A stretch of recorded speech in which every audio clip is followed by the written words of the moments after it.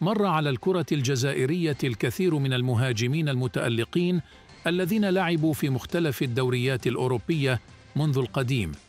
لكن القليل منهم تمكن من الظفر بجائزة هداف الموسم في أحد دوريات الدرجة الأولى وبالتحديد ثلاثة لاعبين فقط.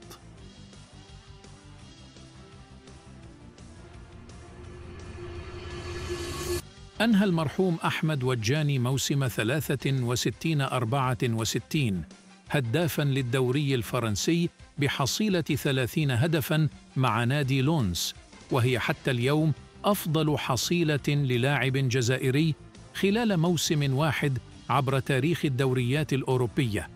ورغم مرور لاعبين كبار على الدوري الفرنسي على غرار رشيد مخلوفي أو مصطفى دحلب وغيرهم إلا أن وجاني يبقى الجزائري الوحيد الذي أنهى الموسم هدافاً.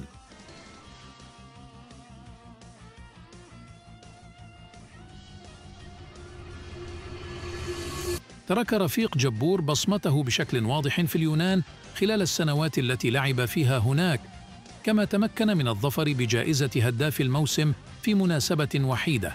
حيث حدث ذلك خلال موسم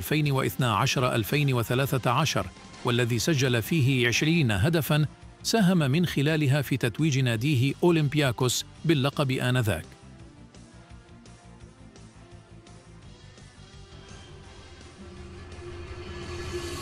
قبل رحيل العرب هلال سوداني عن كرواتيا توج مواسمه الناجحة هناك بجائزة الهداف حين سجل 17 هدفاً وهو ما حدث خلال موسم 2017-2018 والذي كان الموسم الأخير لابن مدينة الشلف مع دينامو زغرب.